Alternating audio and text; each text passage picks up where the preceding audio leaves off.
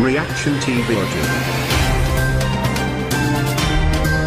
अल्लाम रहमतुल्लाहि वरकatuh जी दोस्तों, जैसे कि मैं पहले ही आशंका ज़ाहिर कर दिया था कि एक नया हथकंडा खेला जाएगा, एक नई चाल चली जाएगी और वाकता चली गई, जो है एक जो नामवर शख्स होगा, जो है एक जो समाज में वैल्यूबल शख्स होता है, महत्वपूर्ण शख्स होता है वो तिरालीस मिनट की एक लंबी चर्चा करे और आम तौर पर जब पहली बार किसी से बात हो रही हो तो यानी जो है फिर उसका ऑडियो बना के मार्केट में रिलीज़ किया जाए, ऐसा बहुत कम लगता है। यानी ये वेल प्लान्ड था कि एक ऑडियो बना के रिलीज़ किया जाए और तहलका की तरह तहलका मचाया जाए।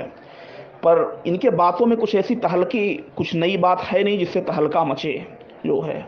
इसमें कुछ तहलका मचाने वाली जैसी बात नहीं है। ये अब अड़तालीस और तिरालीस मिनट के वीडियो से इनकी हालात ये हो गई है कि ये तिरालीस मिनट के ऑडियो क्लिप पे आ गए हैं, जो है। ठीक है दोस्तों? तो ये बहुत ही गंभीर मसला है कि सिर्फ़ हीरा ग्रुप को बर्बाद करने के लिए और लोगों के पैसे को फंसाने के लिए लोग अपने सहमति से, अपने मन मुताबिक, क्योंकि एक फाइनेंशियल मामला है तो लोग अपने मन मुआफिक, अपने तरीके से पैसा लेने का सहमति और असहमति से दावा कर सकते हैं। हमारा कानून पर भरोसा है, हमें न्याय मिलेगा, हमको हमारा हक मिलेगा। जो है, पर ये जो बाहर के तत्व हैं, जो गेम खेल रहे हैं, जो पॉलिटिकल गेम खेल रहे हैं पॉलिटिकल के लिचड़ में इन्वेस्टरों को ढकेल रहे हैं, गंदी जो है पॉलिटिक्स में घसीट रहे हैं, ये मसला बहुत गंभीर है। तिरालीस मिनट की ऑडियो है, बहुत लंबी है, जिसमें पार्ले बाबा और शैतान खान जो है, बात कर रहे हैं, जो है, भाई, उसमें बहुत सारी बातें हैं, मैं वन बाय वन नहीं रख पाऊँगा, जो है तो जितनी टॉपिक हैं, सारे पे मैं चर्चा करूँगा, अगर मेरा ऑडियो ब्रेक ना हुआ तो जो है। भाई, आप बोल रहे हैं ढाई साल में पैसे मिल जाएँगे, ढाई साल में अगर हीरा ग्रुप से के इन्वेस्टरों को पैसे मिल जाएँगे तो क्या शारदा स्कैम के लिए, पर्स स्कैम के लिए, सहारा स्कैम के लिए अलग कानून है क्या देश में? उनके सात आठ साल निकल गए। लिहाजा जो कंपनी का मालिक जैसा कहता है कि हम एफिडेविट उसने डाली है कोर्ट में तो हमें भरोसा है, जो है कानून उसके साथ न्याय करेगा और वो हमारे पैसे देगी। और जो मासूम इन्वेस्टर है, उन इन्वेस्टरों को इस ऑडियो में डीएसए बनाने की कोशिश की जा रही है, जो है गलत तरीके से। और लोगों को इस पूरे ऑडियो में, लोगों को गलत तरीके से एक बहकाने, एक वर्गलाने की कोशिश की गई है।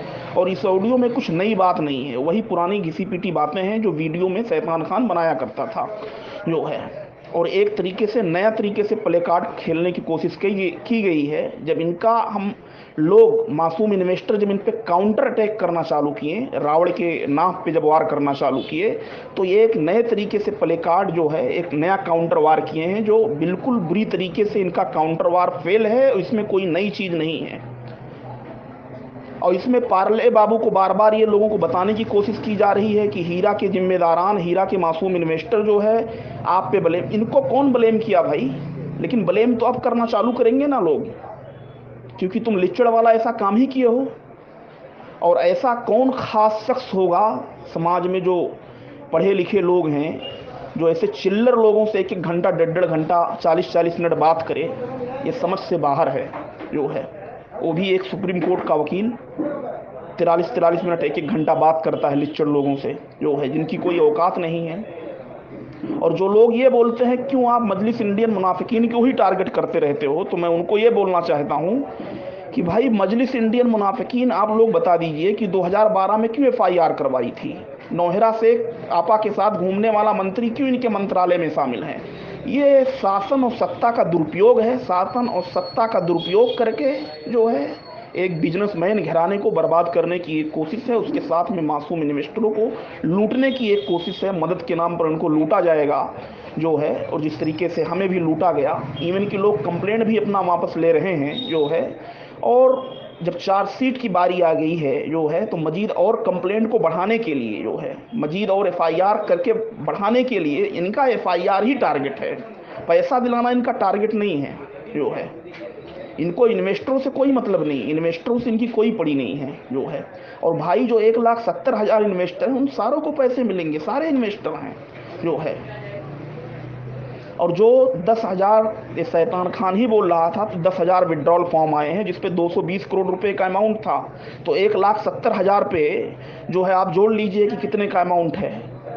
पाँच हज़ार जो है सी C S C C S पे हमें पूरा भरोसा है सी सी एस साढ़े पाँच हज़ार करोड़ का बता रही है इन्वेस्टमेंट दस हज़ार पे जब अपना दस हज़ार विड्रॉल फॉर्म पे जब 220 करोड़ तो वो भी चार पाँच हज़ार करोड़ का आंकड़ा पहुँचता है।